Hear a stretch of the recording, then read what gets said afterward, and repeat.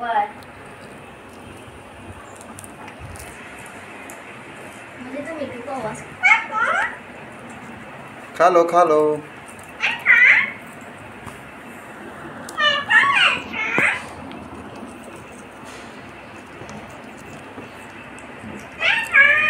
इसको बहुत भूख लगी है इसलिए देखो।